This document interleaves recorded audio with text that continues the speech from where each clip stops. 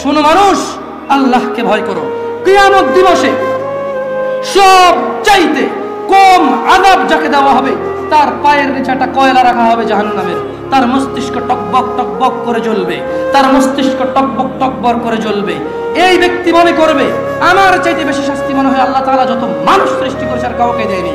অথচ আল্লাহ সুবহানাহু ওয়া তাআলা রাসূল সাল্লাম বলেছেন, এর চাইতে নিম্নমানের শাস্তি আর কাউকে দেওয়া হবে না, যার পায়ের নিচে শুধু একটা কয়লা রাখা হবে, তার মস্তিষ্ক টকবক টকবক করে চলবে আল্লাহ ওয়া তাআলা ও মুহাম্মদ আলাইহি সাল্লাম, আপনি দেখবেন অপরাধীরা, যারা ঘুষ নিয়ে ব্যস্ত, সুদ নিয়ে ব্যস্ত, জানা নিয়ে ব্যস্ত, মদ নিয়ে ব্যস্ত, জুয়া নিয়ে ব্যস্ত, মিথ্যা নিয়ে ব্যস্ত আজানকে পরোয়া করে না সলাকে পরোয়া করে না, বেনামাজি হওয়াকে কুফুরি মনে করে না। ইউবাসসিরুনহুম আপনি দেখবেন ইয়াওয়াদুল মুজরিম, এই অপরাধীগুলো, লাউ ইফতাদি মিন আযাবি ইয়াউমিযিন বিবানি, তারা আল্লাহকে বলবে, ইয়া আল্লাহ ইয়া আল্লাহ, এই ছেলেকে নিয়ে নেন, ইয়া আল্লাহ, এই ছেলেকে জাহান্নামে দিয়ে দেন।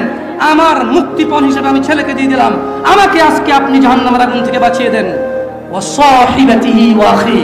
অপরাধী, অপরাধ করে মৃত্যুবরণ করিও না মুসলিম। এজন্য আমি বক্তব্যের শুরুতে বলেছিলাম মুসলমান। হওয়া ছাড়া মরিও না। খবরদার মুসলমান হওয়া ছাড়া মরিও না। মুসলমান হওয়া ছাড়া মরলে বড় বিপদ আছে। মুসলমান হওয়া ছাড়া মরলে বড় বিপদ আছে। মিন আযাবি ইয়াউমিযিন বিবানি। সেদিন অপরাধী আল্লাহকে মুক্তিপণ হিসেবে দিতে চাইবে তার ছেলেকে। এত আদরের ছেলে, যার জন্য এত আয়োজন যার আকিকায় দশটা গরু জবে হয়, যার জন্মদিনে সিনেমার নায়ক নায়িকা এসে অংশগ্রহণ করে, যার জন্মদিনে কোনো মসজিদ, মাদ্রাসায় সে দান করে, যে খুন করে আসলে সে বলে আমার ছেলে নির্দোষ। সবচেয়ে বড় উকিলকে হায়ার করে। এত আদরের ছেলে, যেই ছেলে সাত খুন করলে মাপ, যেই ছেলের জরিমানা দিতে দিতে বাপ কখনো অসন্তুষ্ট হয় না। এই এত আদরের সন্তানকে পরিস্থিতি কি হতে পারে একটু ভাবো, মুসলিম মা, নিজের মেয়েকে এভাবে ব্যবহার ছেড়ে দেবেন না। আপনি, বাবা আপনাকে বলছি ভাইয়া, চাচা! যদি খালি অপরাধী হয়ে মরো, তবে শোনো সুরা।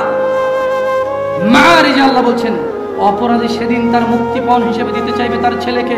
ও ওয়াখি তার স্ত্রী, তার ভাইকে। ও ফাসিলাতিহি আল্লাতী তুই তার জ্ঞাতি গোষ্ঠী যারা ওকে আশ্রয় দিত। ওমান ফিল আরদি জামিয়া, সুম্মা যখন হবে না আল্লাহ বলবে, ছেলে লাগবে না, তুই অপরাধী, তোকে লাগবে। স্ত্রী আর ভাই দিয়ে আল্লাহ বলবে, হবে না, তুই অপরাধী, তোকে লাগবে। জ্ঞাতি গোষ্ঠী যারা অন্যায় করলে আশ্রয় দিত, আরে যা বেটা, কইরাল, আমি আছি। ওই বেটা, আমি আছি না, তুই যা। এই লোকগুলা, এগুলাকে দিয়ে দিবে, আল্লাহদেরকে নিয়ে যাও। এরা আমাকে আশ্রয় দিতে, অন্যায় করবে আল্লাহ বলবে যে, তোকে লাগবে। বলবে, ওমান ফিল আরদি জামিআ। অতঃপর সে বলবে, ইয়া আল্লাহ, জমিনে জমিন আর জমিনে যা কিছু আছে সুম্মা ইউনজি এই জমিনটা পুরো, এই পুরো পৃথিবীতে যা আছে সব নিয়ে নেন। সুম্মা ইউনজি অতঃপর আমাকে নাজাত দিয়ে দেন। যেই রব যেই রব আহ্বান করে বলে, রাতের এক তৃতীয়াংশ যখন যে দয়ালু রব আহ্বান করে বলে, এই দিনের অপরাধীরা, আসো রবের কাছে ক্ষমা চাও, ক্ষমা করে। সুস্থ হতে চাও?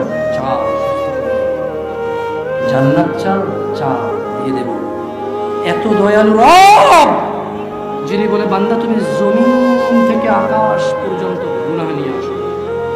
রব, জমিন থেকে আকাশ পর্যন্ত দয়া নিয়ে আসব। আমার সাথে শিরিক করো না। এত দয়ালু রব, সেদিন ওই অপরাধ হয়ে, অপরাধী হয়ে যদি মারা যান, অপরাধী হয়ে যদি মারা যান তাহলে এত দয়ালু রব, যিনি মানুষের হৃদয়ে ধুলা কমা এর চাইতে কিছু একটা ছোট্ট, বোঝা যায় না, বলা যায় না, ভাষা নাই। কিন্তু কিছু একটা ছোট, বাস, এর এর ছোট আর কিছু নাই না, বলা যায় না নাম। হৃদয় ইমান থাকলে জান্নাতে দিবে, এত দয়ালু? সুবহান আল্লাহ।